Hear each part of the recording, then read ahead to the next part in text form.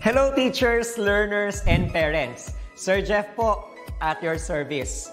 Alam nyo ba na meron tayong website na tinatawag na DepEd Commons? Ang DepEd Commons ay binuo upang gawing accessible ang pagtuturo at pag-aaral dito sa ating bansa gamit lamang ang inyong mga smart devices gaya ng cellphones, tablets at computers. Dito ay maaari nating ma-access ang iba't ibang learning materials mula sa Department of Education. Meron itong mga interactive materials, electronic self-learning modules, at instructional video lessons mula sa DepEd TV na tiyak na makatutulong sa pag-aaral ng mga mag-aaral galing ka man sa public o private school. Walang problema dahil welcome ang lahat dito. Para ito sa mga guro, magulang at mga mag-aaral mula sa kinder hanggang grade 12, Alternative Learning System o ALS at pati na rin ang special education.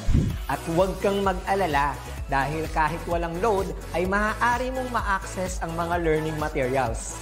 Tama, libre ito ang kailangan mo lamang gawin ay i-on ang iyong data at buksan lamang ang iyong browser at i-type ang commons.deped.gov.ph. Alam na ba ng iyong mga kasamahang guro o mag-aral ang tungkol sa DepEd Commons? I-share mo na ang video na ito upang matuto rin sila kung paano gagamitin ang DepEd Commons sa mabilis at napakadaling paraan. Muli, ito po si Sir Jeff at kita-kits po tayo sa DepEd Commons. Paalam!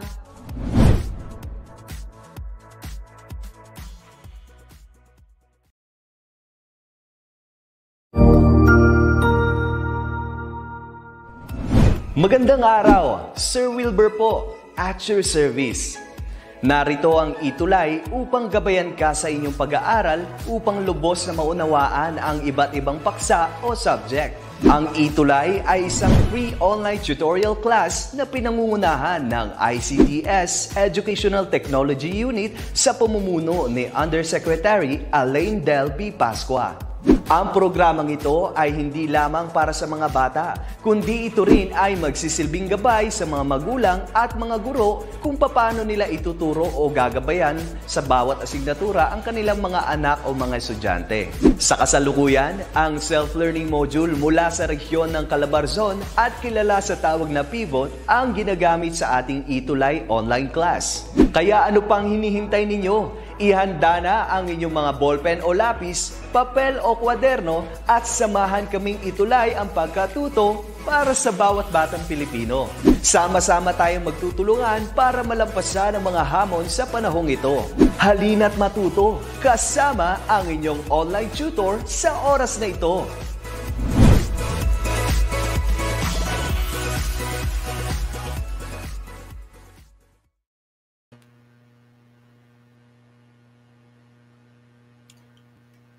Okay, good afternoon, everyone. I am Tutor Ann. It's Monday again, and I am here to assist our senior high school students for our lessons for week 3 general chemistry 2 if in the event na nawalan kayo ng connection or nagka-problem sa inyong mga devices pwede niyo pong balikan tong video na ito sa Facebook page ng DepEd EdTech Unit DepEd Philippines and DepEd Tayo. Ganun din po sa kanilang sa ating YouTube channel DepEd EdTech Unit and DepEd TV so Again, before I start, I uh, would like to say hi to all our senior high school students. So sa mga nabasa ko pong comments sa previous online session, online tutorial sessions natin, nakita ko po na may may mga students tayo from Cebu, Cebu Davao, Iligan, Bicol, Bataan. So marami pong mga different area uh, sa mga iba't ibang lugar po sa Pilipinas na nanonood sa atin.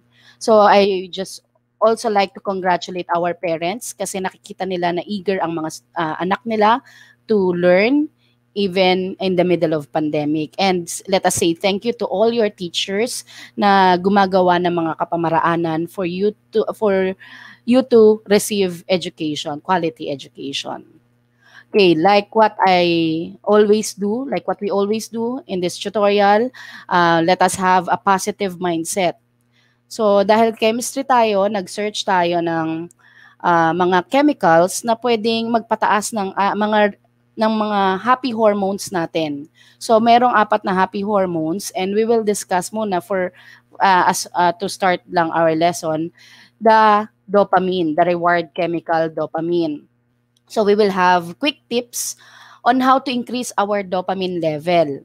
So sabi daw, para tumaas ang ating uh, dopamine level, um, um, pag tayo nag, nagkakaroon ng uh, nakakatapos ng isang task or nakakakumpleto tayo ng task, ay tumataas ang ating dopamine level sa katawan. Sa dami ng worksheets na inyong sinasagutan, I'm sure um, nagiging happy kayo kapag nakakakomplete kayo ng task.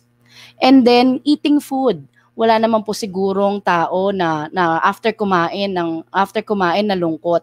So uh, that is a way to increase our dopamine level.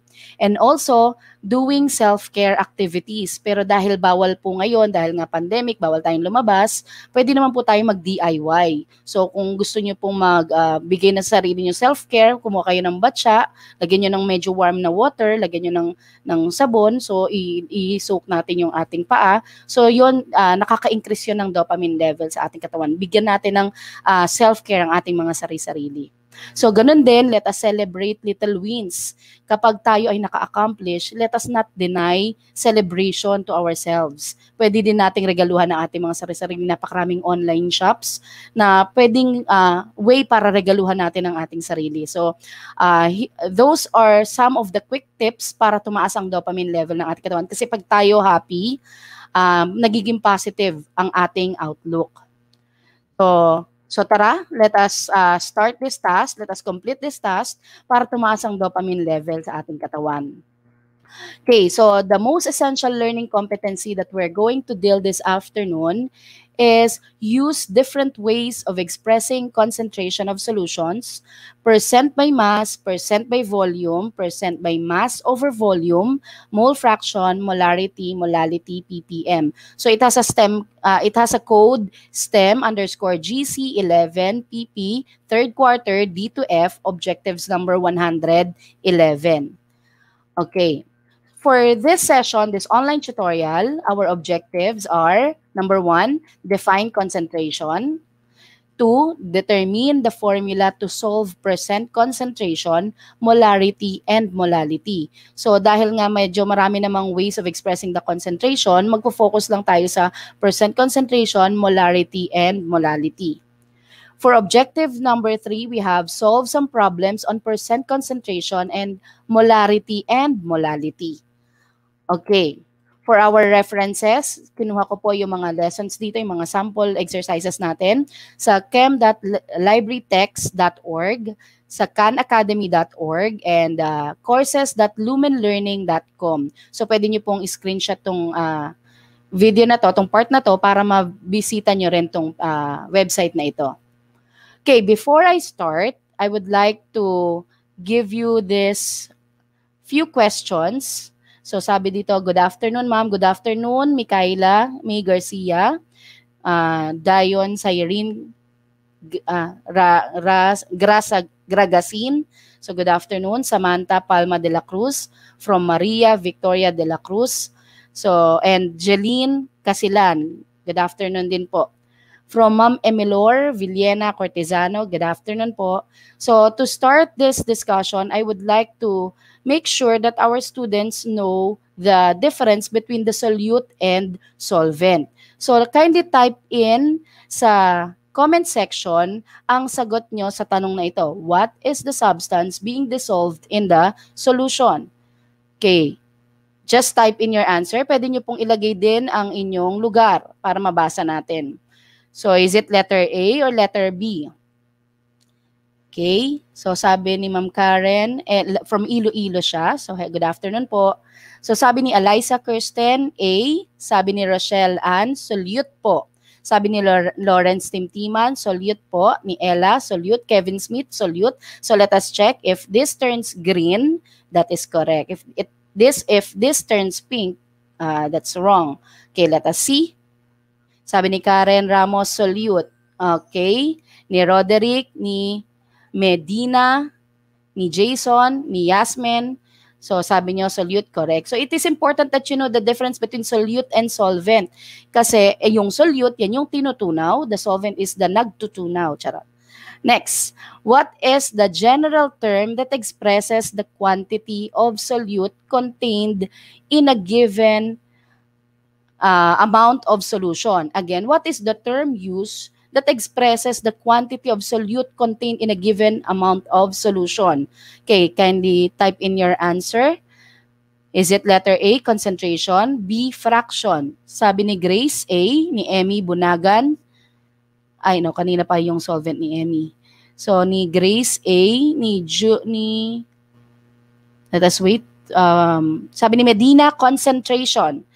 Okay, from Las Piñas, sabi ni Lawrence, concentration. Let us check if your answer is correct. Rachel Baldonado, concentration. Okay, so um, the term used to uh, that expresses the quantity of solute is concentration, not fraction. Next, what is the term used to measure the amount of matter in an object? Okay? So, medyo delayed yung mga pasok ng comments. So, hintay-hintay tayo. Again, what is the term used to measure the amount of matter in an object? So, sabi from uh, DO of Escalante City, Rose Garcia, Pacifica Tour. Ayun. And then Grace Nitor, sabi niya kanina concentration. Okay, let us wait for their answers. Sabi ni Medina, ang sagot daw dito ay mass. So let us check. Ni Rachel Baldonado, mass. Okay, let us see if your answer is correct. Sabi ni Jason, B, mass. Karen, mass. Elsie, mass. Okay, next. Okay, correct. The answer is mass. What? Next question. What is the term used to describe a solution that has a relatively large amount of dissolved solute? Again, what is the term used to describe a solution that has a relatively large amount of dissolved solute? Marami daw na natunaw na, dis, na, na solute. Okay, let us wait for our students to type in their answers. Sabi ni Jaya Demetrial of Las Piñas, A. Sabi ni Rochelle, Okay, so sabi A, sabi ni Rochelle A, sabi ni Agpoon, concentrated solution po. So let us check. Sabi ni Twinkle De Leon A. Okay, so marami na pumapasok. Let's check. Okay, that is correct. Uh, that is concentrated. Kapag maraming solute, concentrated. Kapag kukonti ang solute, diluted. Okay. So, uh, I have here a picture of a water, a glass of water na nilalagyan ng pwedeng salt to, pwede itong sugar. So, for us to describe the concentration, the, the I mean, for us to describe the tabang and the tapang ng timpla, kung mat, matabang ba or matapang ang timpla, the term that we use is concentration.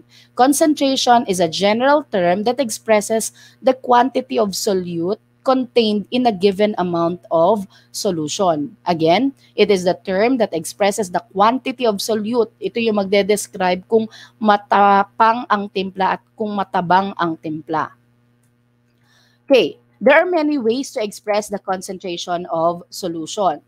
So we have percent by mass, we have percent by volume, we have percent by mass over volume, we have molarity, molality, eh, molarity and molality. So, ayun na pala yan. So, we have five. Pero actually, meron pa kasi yung normality uh, na way of expressing the concentration at saka mole fraction. And also yung sa ppm kanina. But uh, dahil we only have 40 minutes, so pipilitin ko na tong lima na to ay matakel natin. Okay. First, percent by mass. Percent by mass is when the solute in a solution is a solid, a convenient way to express the concentration is a mass percent, which is the grams of solute per 100 gram of solution. So the formula to get the percent by mass is percent M is equal to mass of solute over the mass of solution times 100 to get the percent times 100. So let us remember that solution uh, is a combination of solute and solvent. Bakit ko in-emphasize ito? Kasi po, sometimes, dahil sa problem, kung ano yung number na nakikita natin, yun na yung nilalagay natin sa formula. But I would like to emphasize na dahil sa denominator solution ang nakalagay, kung yun ay water lang, you have to add the solute kapag nakalagay sa problem water, solvent lang yon. So, kailangan yung isama yung solute. You have to uh, add the solute. Pero kung yan ay nakalagay naman ay solution na, so you don't need to add kasi solution na siya. Okay, let us try this problem. Let me just uh, change my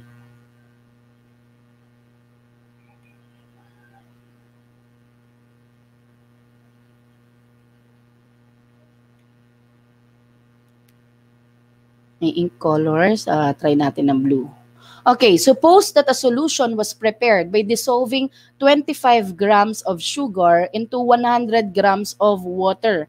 So isulat muna natin dito ang uh, mga data. So nakalagay dyan, 25 grams of sugar. So alam na natin na that is our solute. So mass of our solute is 25 grams. Ganda na sulat ko, no? Madulas kasi yung sulatan. Next. Uh, we have 100 grams of water. So, dahil water lang yan, that is the mass of our solvent lang. So, lalagyan natin dyan 100 grams of water lang. Pero for us to get the mass of the whole solution, sabi kasi 'di ba sa problem eh, sa formula, Wait. Sa formula dito kanina, sa denominator, mass of solution. So, kailangan kunin natin yung mass ng solution. So, dito, let's write here the mass of solution. What is the mass of our solution? Paki-type in nga po dito while I'm writing this label. Mass of solution. Okay, what is the mass of our solution? Let us have Sino kayang maka, ano, ka-answer? Okay, wala pang nagsasagot. So for us to get the mass of the whole solution, we have to add solute and solvent. Sabi ni Mike Agpoon, 125 grams po. Okay. So syempre, add natin yung solute at saka yung solvent, 125. Very good. Grams of the whole solution na siya. Okay. So, the formula is percent M is equal to the mass of solute. So let us write 25 grams over the mass of the whole solution. Okay, sabi ni Loribel Ancheta, 125 mass of the solution. Correct po. Sabi ni Roderick, so, ni Roderick at saka ni Philip, saka ni Yasmin, 125 grams. So the mass of the solution is 100 25 grams times 100 for us to get the percentage. So 25 divided by 125, paki-type in nga po ang inyong sagot. Okay, 25 grams divided by 125 grams times 100 for us to get the percent by mass of this problem. The answer is Okay, naka-ready naman inyong mga calculators, 'di ba? 25 divided by 125 times 100. The answer, sabi ni Mike Agpoon, is 20. So that is 20%. Okay? So that is our answer for this problem, 4% by mass. So saan ba 'to ginagamit, ma'am? Ginagamit ito to express the concentration kung ma, yung concentration na kapag pinagsama daw natin yung asukal at saka tubig, um, the, na 25 grams and 100 grams, ang kanyang concentration ay 20%. So medyo uh, kung matabang ang timpla or matapang ang timpla. 'Di ba sa mga pag nag-order kayo ng mga milk tea tinatanong kung 75% po ba, 50% po ba, 25% po ba ng sugar. So ayun yon, yun ang um, application ng percent concentration. For the percent by volume, so the percentage of solute in a solution can more easily be determined by volume when the solute and solvent are both liquids. So kapag parehas liquid and they are both expressed in uh, ml, so yun ang ating uh, isosolve. Uh, so the formula is Percent V is equal to volume of solute over volume of solution times 100%. Again, I would like to reiterate, kapag sa denominator, volume of solution, pagsasamahin niyo po yung solute at saka solvent. Okay, sample problem on percent by volume. If a solution is made by taking 40 ml of ethanol and adding enough water to make 240 ml of solution, what is its percent by volume? I'm sure nagko-compute na ang ating mga estudyante ngayon. So as I write the the solution, pwede niyo na pong i-type in sa inyong calculator ang inyong sagot para mamaya meron din ta meron na tayong answer.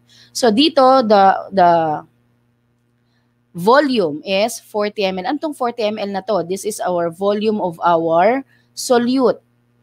This is 40 ml of ethanol. And then the volume of our solution, dahil nakalagay na dyan ay solution, hindi na po natin siya i-add kay ethanol. It means na may, um, after pag-combine nitong dalawang ito, ng solute at solvent, nag-come up with 240 ml of solution na.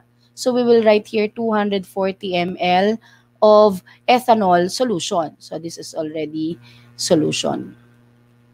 Okay, let us uh, sa, uh, write the formula. Percent volume is equal to volume of our solute, which is the ethanol, volume of our solution times 100.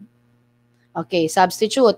Volume of our solute is 40 ml over the volume of our solution is 240 ml times 100%. So kindly uh, type in your answers sa ating comment section para ma-solve na natin to. 40 divided by 240. Ang sagot ni Jason, 16.67%. Ni Rach, ganun din si Rachel Namayan, ni Mike Agpoon, ni Jaya Demetrial, Rochelle Ann, Lawrence Timtiman, Janela Cruzis, Twinkle De Leon, 16.67, Alaisa, Rachel Baldonado, Lawrence, Philip, Elsa Boca, 16.67. But the, the unit is percent, not ml. But that is correct. Your answer is correct. That, because we're talking about the percentage. So dito, ang unit na niya ay percentage. So thank you for the F, uh, effort. Tama yung answer mo po, Elsa Boca. But we'll change that unit in percent. So 40 divided by 240, the answer is 16. Nawala na yata ng tinta. Joke. 16.67 So that is for our answer for problem number 2. Okay, Oy, thank you uh, Elsa for correcting. For percent by mass over volume naman, the mass volume percent is cal the mass volume percent is calculated by dividing the mass of the solute by the volume of the solution and expressing the result as a percent. So the formula is percent M over V grams of solute per ml of solution. Okay, so this is uh, atong percent by mass over volume. So yung mass din uh, uh, yung solute nilagay sa uh, liquid solvent. The, the, that liquid is expressed in ml. Okay? Times 100. Okay, sabi dito of solution ulit sa denominator. So sample problem on percent by mass over volume, we have, wait, recognize ko lang po, Roxanne Mamawag, 16.6, correct. Eduardo Arevalo, 16.67. Elizabeth, correct. Uh, Elban Buena, correct. Okay, so yun ang mga nagsagot sa atin sa problem number 2. For this problem, 10 grams. So ayun, nag, nag, nag, nagko-compute na ating mga estudyante. If a solution is prepared from 10 grams of NaCl, So ano yan, 10 grams na yan? That is the mass of our solute is equal to 10 grams NaCl. Next, to make 150 of the solution, solution na siya. So the volume of our solution is 150 ml. Okay? Sabi sa formula, uh, percent by mass over volume is equal to uh, mass of solute over volume of your solution. So let us substitute. The mass of our solute is 10 grams. May sagot na kagad sila. 10 grams of uh, NaCl over the volume of our solution is 150. Okay, 150 ml of the whole solution. Let us type in our answer. So, ayan, may sagot na sila. Ang sagot nila, Danica, ni Lori Bell, ni Jason, ni Rachel Namayan, ni Mike Agpoon, ni Raven, ni Roel, ni Lawrence, ni Loribel, ni, ni Rochelle, ni Jaya ay 6.67. That is correct. 6.67%. Sabi din ni Jelmar, ni Janela, ni Ella, ni Raven again, ni Twinkle, okay, ni Yasmin, ni Philip, ni Eliza, Kristen. So, yun, uh, that is correct. 6.67%. Next, meron tayong percent by mass, percent by volume, percent by mass over volume. Now, we're going to tackle molarity. So, dito sa molarity, um, molarity is defined as the number of moles of solute per liter of solution. So sabi dito, not per liter of solvent. Ini-emphasize lang yan kasi nga minsan water lang ang nilalagay sa problem. So kailangan yan ay malinaw sa atin yung mga data para yung information na ilalagay natin sa formula ay tama. Number of moles of solute per liter of solution. Again, not per liter of solvent. Okay, if that is so, the formula for getting the molarity, again, molarity is written in capital letter M. Okay, sorry. And capital letter M is equal to the moles of solute over liter of solution. Pwede ko naman ilagay dyan volume of solution. Pero nilalagay ko na liter to uh, make us aware na dapat ang volume natin ay naka-express sa liter, not in milliliter. Okay, so that is the formula to get the molarity.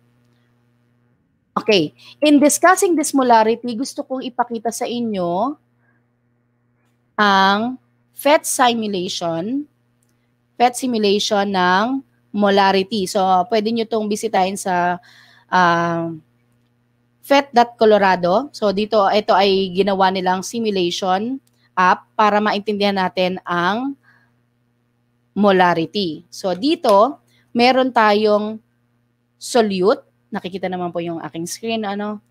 So ito ang ating mga kind of solutes na ino-offer nila sa kanilang simulation application. So meron tayong drink mix, cobalt nitrate, cobalt chloride, and so on. And meron din tayong sodium chloride. And this one naman is our source. So, ganyan ko muna. This one is our source of water. Pag gusto nyo dagdagan ng water. And ito naman pag gusto nyo pong bawasan, so pwede natin yung uh, gamitin to explore and how to prepare solutions. Ito naman, if you want to evaporate, so mag-evaporate lang siya, hindi siya lalabas dito. This one naman is a device used to measure the concentration in molarity. This is specifically designed for molarity. So dahil wala pa tayong nilalagay na solute, zero pa lang yan. Pero once nilagyan nyo, like say, drink mix, magkakaroon na siya ng timpla. Kasi nga, solution is a combination of solute and solvent. So, kung gusto nyo i-remove ang solute, or kung gusto nyo palta ng ating solute, itak-tak lang natin, tapos ayan na yung concentration niya. Pero pwede nyo rin siyang i-reset. Okay. So, I have here, so piliin natin ang sodium chloride. Okay, nag, uh, let's say magta, um, ang ating volume ay 0.5 liters. Obvious naman na nakalagay dyan. It's 0.5 liters. Pag nilagay natin yan, zero pa lang. Pero pag naglagay tayo ng konting asin, magkakaroon na siya ng concentration. Pero, paano natin malalaman kung gaano karaming asin na nilagay natin since meron na tayong uh, data for volume at meron din tayong data for concentration, pwede natin yang ma-solve. So, uh, naglag nakita niya, naglagay tayo ng asin kanina, sodium chloride, sa 0.5 liters of water. So, ilagay natin, ang volume ng ating water ay 0.5 ay 0.5 liters. Okay. Next, the volume of our uh, that's uh, the volume of our solvent pero nadagdag na nga natin yung ating sodium chloride so yan na yung volume ng solution. Tapos um, we have the molarity. Meron na tayong value for molarity. Ito. Binigay na natong device na to na nag-measure ng concentration. So 0.490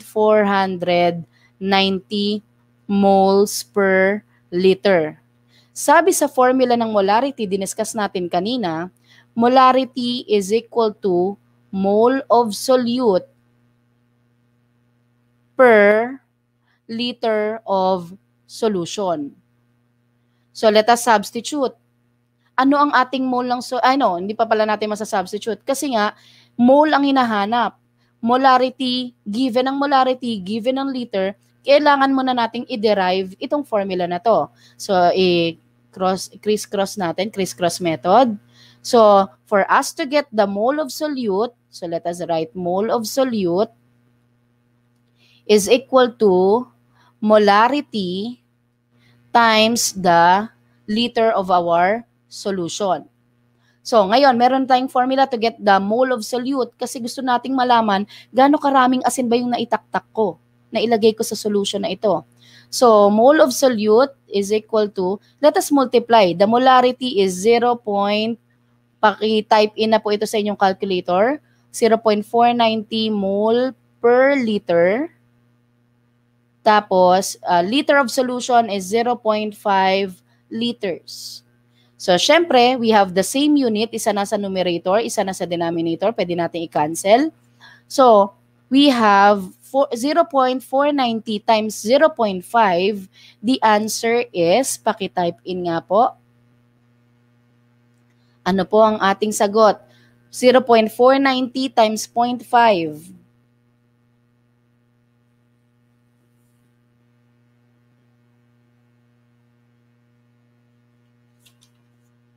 Okay, let's wait.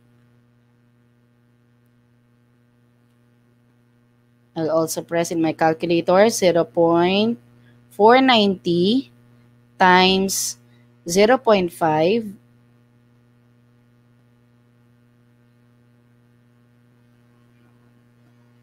The answer is, may nagsagot na ba? Okay, sabi ni Francis Luares, 0.245, ni Yasmin, 2.245, ni Danica Barcelo, ni Ella Tapis, ni Rachel Baldonado, Joselu Abashal Sanyosa, uh, Rachel Nama, Namayan, Philip Lodana, Danica Barcelo, the answer is 0.245. So let us write our answer 0.245. What is our unit? Okay, ang natirang unit natin ay mole, so dapat ang unit natin ay mole. So yun naman ang hinahanap natin, mole of our solute. Okay? Pwede pa natin niya ma-identify yung grams pero wala na akong space uh, dyan. Pero dahil mole na may nanap natin, okay. Pero if you really want to know the grams, sige, tingnan ko may aangat ko ba ito. Ayun. Okay, so 0.245 mole kon, ng asin. Asin to, di ba? NaCl. Salitan ko sulat. 0.245 mole ng NaCl. Convert natin. Ano ba ang mass ni asin? Sabi sa mass ni asin 23 si Na, si Cl ay 35 yung atomic mass niya. So ang total nun ay 58. Sa kada isang mole ng asin, merong tayong 58.45 or isarado na nating 58 grams ng uh, NaCl. Okay, kindly type in your calculator 0.245 times 1, syempre 0.245, divided by 58. What is your answer? Okay, tingnan natin anong sagot ng ating mga estudyante. Thank you, Sir Yanni Marquez, watching from Las Piñas City. So, ang sagot ay, wala pa nakaka-type in sa ating estudyante. Sabi pala ni Jennifer Tomas Regala sa sagot niya kanina, 0.245 mole. Thank you for your participation. Okay. Sabi din ni Ma'am Floyd Delma Kayomba Atok Kabanyag. Okay, sabi ni Twinkle, ang final answer to get the grams. Ay, so, mali, mali ang, ang sulat ko. Okay, hindi ko napansin, sorry. Ang kung anong unit nyo dito, sorry, kung anong unit nyo rito, okay, I would like to correct this. Kung anong unit nyo dito, yun dapat ang nasa denominator. So, change ko lang to sa 1 mole of NaCl, nagkabaliktad lang, may 58 grams. Kasi, uh, malalaman nyo naman kung mali ang na magiging sagot nyo. Kasi dapat ang matitirang unit ay grams. Kasi grams nga natin siya kino-convert. So dito, kung mole dito, makakancel ko to, makakancel ko rin ito, ang natirang unit ay grams. So dapat ang final answer natin ay nakagrams siya. So 0.245 times 58 pala. Sorry, mali ako. Okay, so 0.245 times 58 divided by 1 times 58. The answer is 14.21 grams. Okay. So, lalagay ko rito, 14.21 grams. So, ibig sabihin, yung mga tinaktak ko po dito kanina, ang, na, ang amount na naidagdag ko ay 14.21 grams para magkaroon ka ng 0.490 moles per liter. Okay, malinaw po sa atin yon. Okay, nagkabaliktad lang po ng sulat dito. Again, for you to check if your answer is correct, whatever the unit in the numerator, that must be in the unit in the denominator para ma-cancel nyo. And then yung remaining unit, yun yung final answer, unit nyo sa final answer nyo. So again, the answer is 14.21. Double check ko lang. 0.245 times 58. The answer is 14.21. Okay, naintindihan po? Thank you po sa inyong participation. Sistine Valenzuela, Yani Marquez, Danica, Janel, Janela, Alaisa, Edeline, Jeya. Okay, so, pero hindi pa dyan. May isa pa tayo. So, I know, medyo ma-extend siguro tayo ng very light. So, for our next way of expressing the concentration is molality. So itong molality naman is the moles of solute divided by the kilograms of solvent. Again, molality is the moles of solute divided by the kilogram of our solvent.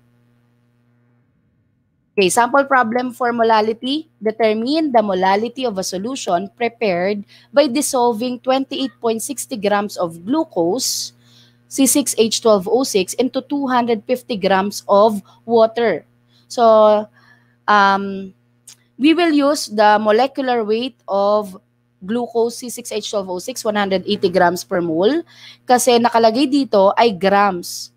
Kailangan i-convert muna natin ito. So, 28.60 grams ng glucose, C6H12O6, into 250 grams of water.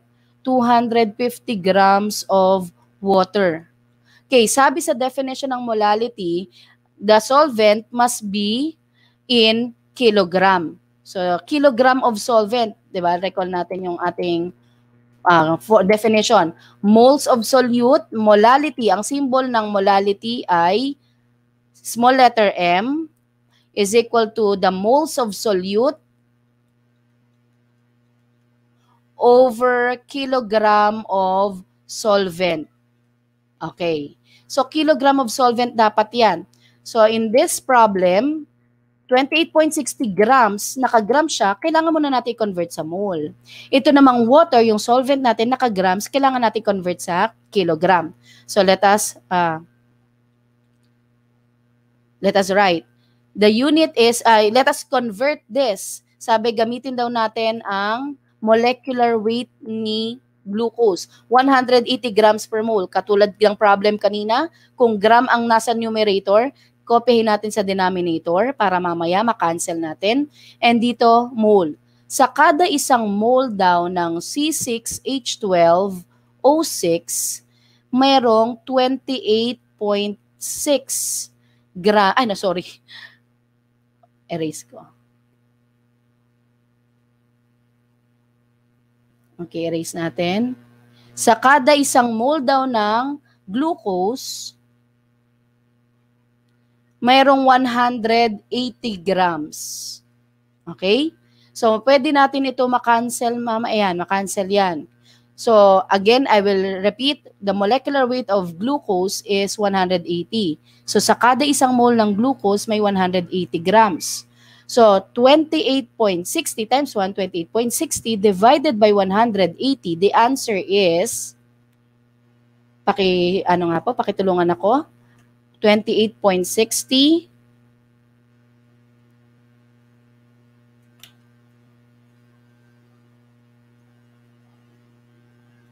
divided by 180. Ano po ang ating sagot? So sabi ni Jason, it twinkle 0.16. The unit is mole of C6H12O6 or glucose. Meron na tayong mole ng solute. Meron na tayong mole ng glucose. Pero yung ating solvent ay nakagram pa. So we have to convert this to kilogram. Tandaan natin, sa kada isang kilo, in 1 kilogram, merong 1,000 gram. So, what is the answer? 250 divided by 1,000, the answer in here is 0.25. Okay, the unit now is not in grams, but in kilogram. Now, let us substitute. So, 0.16, so molality is equal to 0.16 mole ng glucose, C6H12O6, divided by 0.25 kilogram of our water, H2O. What is our answer?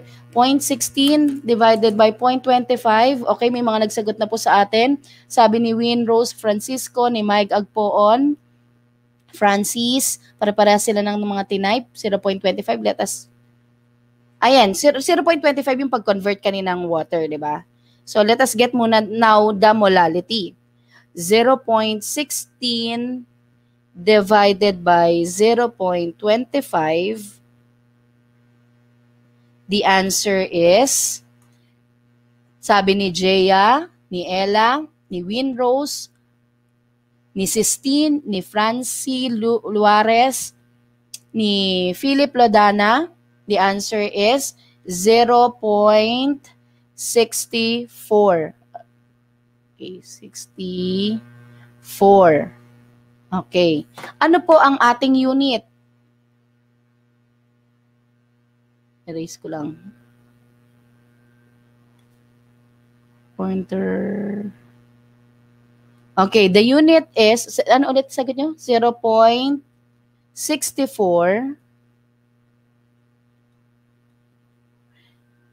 The unit is what? Let's see kung na kung tama ang ating mga estudyante. Yes, tam thank you Mike Tagpoon, Jacob Hezekiah Seth. Your answer is correct, 0.64 mole per kilogram. Mole per kilogram. So thank you, Mike. Thank you, Jason, for answering. So that is our topic for molality. Again, ang molality, ang unit nun ay mole per kilogram. Ang molarity is mole per liter. Okay. So, ayun po ang ating lesson for week 3 for Senior High School General Chemistry 2. Actually, meron pang mole fraction, meron pang normality, pero ayun po ang common na mga ways of expressing the concentration of solution. And uh, I would like to thank all of the teachers who participated, all of the, o- at saka yung nagsishare ng mga teachers para mapanood dito ng ating mga senior high school students. Ganon din po ang ating mga parents na sinishare nila ito sa ating mga, ah, sa mga anak nila at ang mga senior high school students na nag-attend, nagpa-participate weekly. So week 3 na po tayo ngayon. So for week 4, ire-ready ko na rin po yan for next week.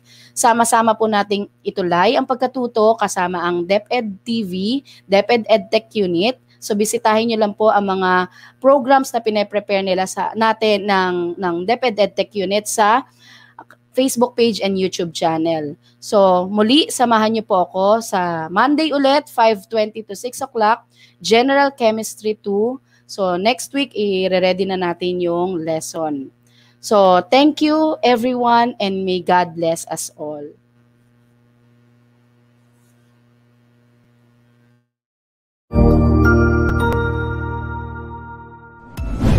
Sigurado ako na marami ka na namang natutuhan sa ating Itulay tutorial session ngayong araw. Tandaan, ito ay hindi lamang para sa ating mga mag-aaral, kundi pati rin sa ating mga minamahal na guro at mga magulang na kaagapay natin para maituloy ang pagkatuto sa kabila ng nararanasang pandemya. Patuloy ding sumubaybay sa DepEd TV para sa mga araling ginawang video episodes. Mapapanood ito mula lunes hanggang sabado, alas 7 ng umaga hanggang alas 7 ng gabi sa inyong mga telebisyon. Abangan bukas mula alauna ng tanghali ang iba pang aralin sa ating Itulay free online tutorial session sa English. I-like and subscribe at manatiling nakasubaybay sa ating Itulay tutorial session sa DepEd EdTech Unit FB page at Educational Technology Unit channel sa YouTube at sa DepEd Tayo at DepEd Philippines social media accounts. Paalam!